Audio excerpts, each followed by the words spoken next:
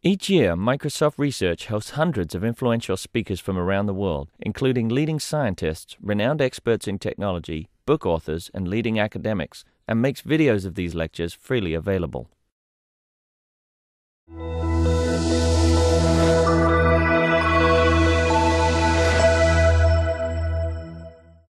Next up, um, we have Northumbria. Hi, I'm Leah, and this is Luke, and I'm going to talk you through our response to making data useful. Now, we envision data as something that can reinforce our connection to the past as much as it connects us to our future.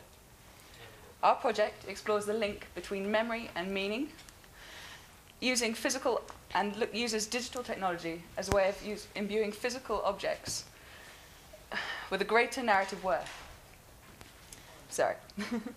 so, through a series of smart tools and interactive makers marks, we sought to link both the digital and the physical data in our lives, creating an active engagement that strengthened our connection to our possessions and to our predecessors. Now, we're an interdisciplinary team. I do product and furniture design, and Luke does interactive media design. We, wanted to, we really, really wanted our project to reflect this. Now, our response um, we also saw parallels between the overwhelming mass of data, big data, in the sense that it was abstract. Sorry.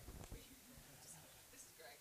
In the sense that it created something overwhelming and relatively abstract.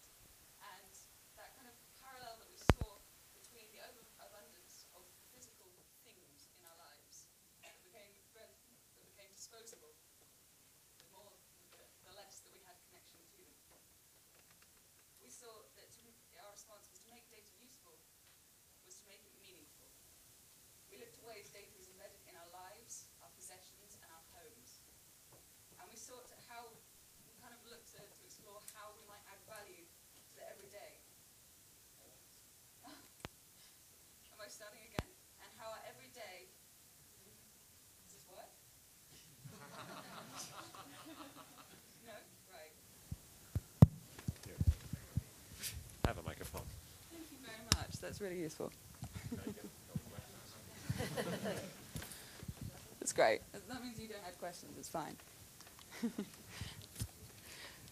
we saw that if possessions. Sorry, here we go. There we go. we saw that if our possessions told us a little more about ourselves, if they reinforced our connection to our own sense of history and to our own past, then they'd be more inclined to be valued in the future.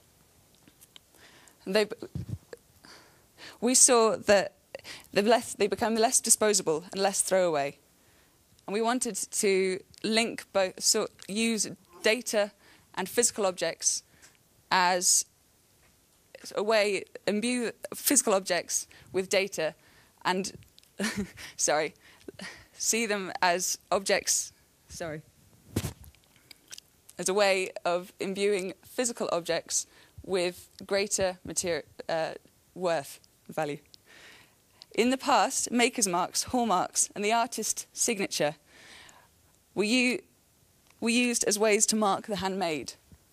However, these marks, these objects soon became valued for the marks themselves, and we saw that this was because of the what makes objects precious was they've been hand touched. That sense of history and place that came with them. We keep objects if we know the maker. We're more inclined to treasure, oh, sorry, we buy from farmers markets so we meet the producer, and we're more inclined to keep a son's painting than a stranger's. It's objects that tell us something about ourselves, that reinforce our connection to the physical place and to our, reinforce a sense of our own history. We wanted to bring this human fingerprint into the digital, to imbue an object with the value of an artist's signature and create something you didn't have to rely on another's evaluation to know its value. In short, we wanted to create a digital signature of the handmade. Can anyone hear me? Read this. Um, so yeah, then we decided to create a series of digitally active makers marks. Um, these would allow the maker to be both identified and for the maker to choose what, what data they leave behind, their kind of like legacy, their imprint. So yeah, um, our first iteration of this idea used Gadgeteer. Um, it was kind of a way of us experimenting and kind of to, to, to try the whole tangible uh, interaction of it, um, really. We then thought about the feedback, um, and we really liked the idea of a line graph. It was quite synonymous with a, a pulse, kind of giving life to the object itself. Um, so we looked at data as a tool for living. Um, by adding these, this like line graph, this uh, pulse to the, to the object, we're, we're giving it a life. Um, so the different tools would have sensors within them. So is it okay if you, Yeah, you no, open that's up? fine. So yeah, we, uh, we experimented with uh, adding sensors to different tools. Um, so within this one, we've got an accelerometer. And we looked at adding different nodes within the tools um, and then adding footage uh, and imagery to that. Um, but it was important for us that the, uh, the maker um, chose what was important. We didn't want to just kind of record the whole process. We wanted the maker to be in charge of what data was meaningful and useful to them, allowing them to leave their legacy. They're, they were the ones in charge. So yeah, the, the final iteration of this was a phone app, but as ubiquitous uh, technology improves, it might be that um, that it could use augmented reality, for example. Um, but yeah, so so we developed this app where you can interact with the different kind of line graphs or pulses of the tools, and interact with the different uh, footage or imagery that is present within each each line graph. Also, you can look at information about the maker, find out more information about them, um, kind of the, what, what a maker's mark was originally intended for. Yeah, uh, we've got a video that would kind of um, hopefully encapsulate what our service is that we'd like to play now, hopefully. If you could roll. Yeah, can we roll the video, please?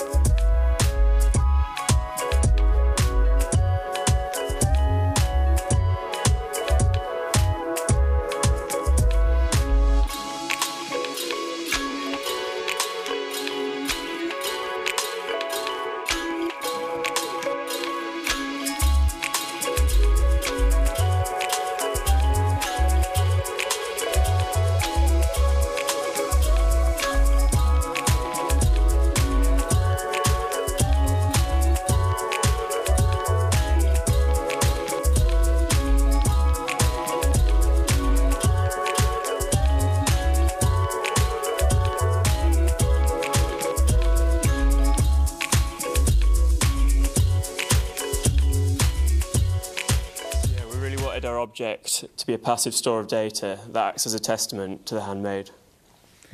Just to summarise now, I know we're running short of time, but so our service is something that connects people with the handmade. It gives them a sense of their own history and encourages them to leave a legacy in objects that are made valuable by the time that they have taken to create them. It places developing technology as the key to our future past and bridges the gap between high tech and handmade. We see a future where technology is ubiquitous, when even the most basic tools are able to remember their use. In this, the data they, um, and are valued for the data they store, for how they connect us with us, with the, uh, the act of making, and the way they contextualize our own memories. Thank you very much.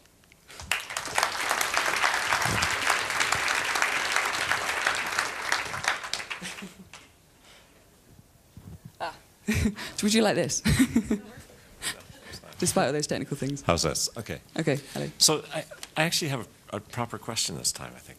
Um, so Christopher Dresser was arguably the first industrial designer. Yes. And he tried to imbue industrially produced objects with the values of craft, Mm-hmm. and and those objects are still carry his imprint, right? Mm-hmm. Even though he didn't create them, uh, it, it, he, he, it wasn't his hand that made them.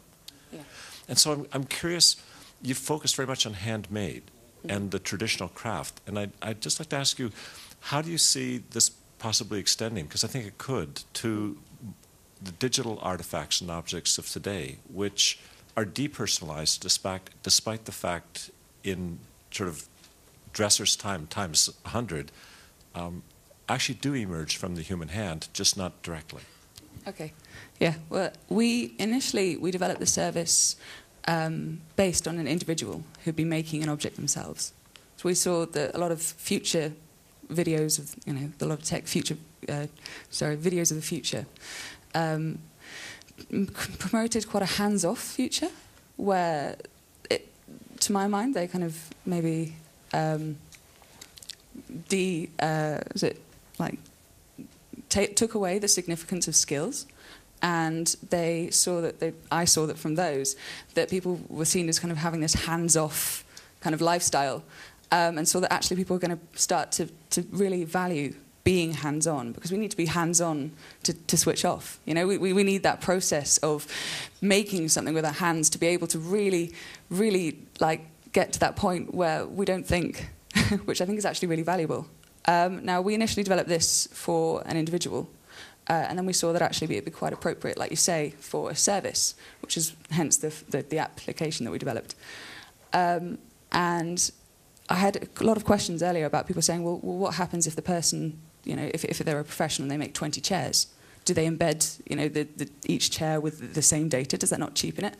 And I said, well, no, because the individual is going to be making, you know, whether, whether they're a professional craftsperson, might make 20 chairs, the same chairs. They, so that, you know, what, what if they do choose to embed the same data into each one? But we don't, like, value um, an artist or devalue an artist's prints because there's 20 of them. We still, it's that, connect, that connection to something that's, physic, that's handmade. Um, and it, because it's one of 20 as opposed to one of, like, 20,000, it does make it more, more I suppose, more uh, precious, more personal. I don't know if that answers your question. If you want to reframe it, and Luke can answer it. so you're asking about um, digital specifically um, enduring. Was that the question? Can Kind of, but uh, mostly I just I like the idea and I want to see how it extends even further. But I Yeah. don't want to hog the time, so I would rather okay. give uh, these guys a chance to speak. Um, I think okay. I really like what you're doing, and I'm really I think I think you're really missing something in the way you're presenting it, because it wouldn't have been difficult to simply video really video yourselves making something, and show the connection between what that really looks like and what you get from the object. And it feels uh, this isn't really a criticism because I think what you're doing is great. It's just that it comes over as very corporate, the way in which the kind of videos you're showing, even the kind of chair you're showing. And I'm, kind I'm curious, particularly in this kind of a situation with, is what does it mean to show stuff where people start actually believing in the content? And all you had to do was make stuff and video it, really make it, really video it, and then we get a sense of what that feels like when you connect the person back to the object. Do you understand? Yes. Did you want a response to Well, I'd be interested. I'd be interested to know whether you have any doubts about the way in the type of furniture you've chosen and the type of video you've shown in connection. We have you. Um, this is going to be using. this is me coming from my perspective as a product and furniture designer. Um, I see that there's a massive trend at the moment, um, or a massive, I suppose, resurgence in makers or you know, uh, craftspeople creating videos that glorify or, I suppose, celebrate the making process. Not necessarily what's made, but it's that process. So through videos or through sites which is kind of product by process and Vimeo and what have you, they are kind of celebrating their skills. Now, whilst me and Luke didn't show us actually, I suppose, like you say, physically making things on the on the um, on on the video, um, we did think that this was kind of quite applicable to this kind of.